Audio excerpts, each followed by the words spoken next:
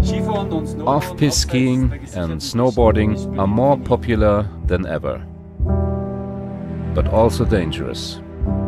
Every year, more than 5,000 people worldwide are buried by avalanches.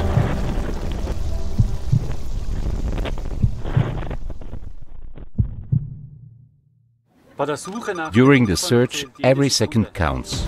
Unfortunately, most victims don't wear any avalanche emergency equipment because it's expensive and the danger is often underestimated. This makes it extremely hard for us to find them in time.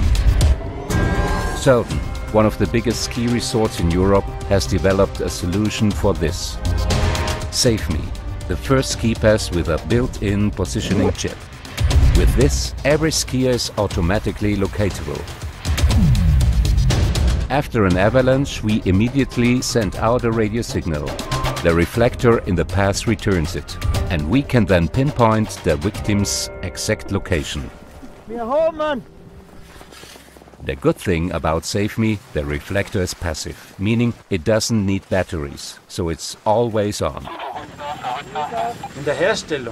The production of the pass only costs a few cents, but it can save the lives of thousands of skiers every year.